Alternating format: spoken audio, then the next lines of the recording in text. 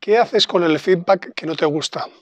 Algo que no nos enseñan de pequeños es a cómo utilizar el feedback que no esperamos, el feedback que no nos gusta. Feedback que a veces llamamos feedback negativo, que en el fondo no es negativo, simplemente es un feedback no esperado. Generalmente es el feedback que más nos enseña, pero eso solo ocurre si haces un uso adecuado de este feedback.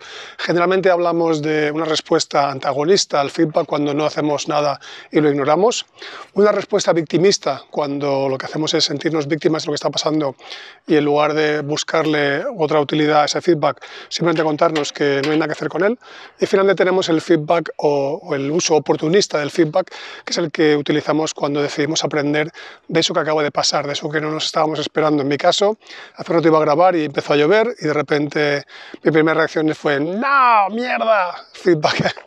Bueno, primero lo ignoré, que fue el antagonista. Luego critiqué, me sentí víctima. Y después dije, bueno, pues espero y pondré a grabar un poco más tarde. Aquí estoy grabando este vídeo para que te des cuenta de que siempre podemos aprender de circunstancias, aunque a veces las más duras parecen más complicadas, pero siempre tienen lecciones que a veces hay que esperar bastante con el tiempo para que nos demos cuenta de la lección, o podemos también eh, aprender a colapsar el tiempo y aprenderla mucho más deprisa. Pero eso es por otra lección.